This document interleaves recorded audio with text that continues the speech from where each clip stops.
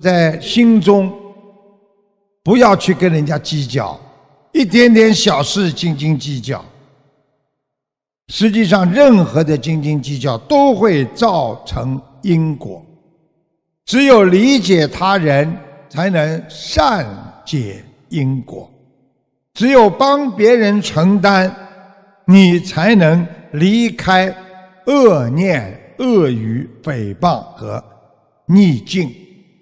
所以你去想想看，帮助别人，你是不是得到别人的帮助，你就不会有逆境了吗？你去全心全意的去帮助别人，谁来诽谤你？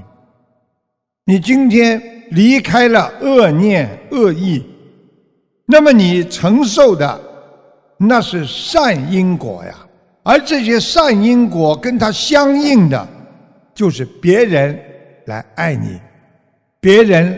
来帮助你，别人来改正他们自己的错误。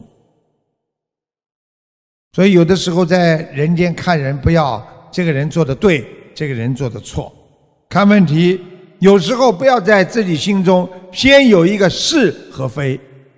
这个人讲出来的话肯定错。这个人，我告诉你，没有一句话是对的。你怎么知道他没一句话是对的？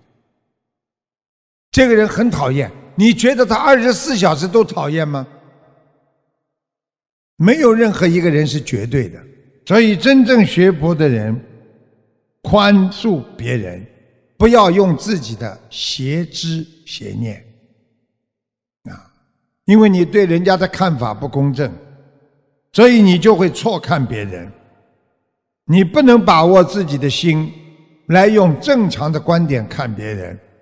你最后就被别人看不起，因为你看错别人，人家当然会说你这个人很没有礼貌，很没有文化，你这个人有嗔恨心，有嫉妒心，所以你的自私心和欲望心才会产生，听懂吗？啊，所以你去非常有芥蒂的去伤害别人，啊。那你慢慢的一定会离开清净心，啊，所以表面上看起来有些人穿的很整洁，但是他的心不清净了。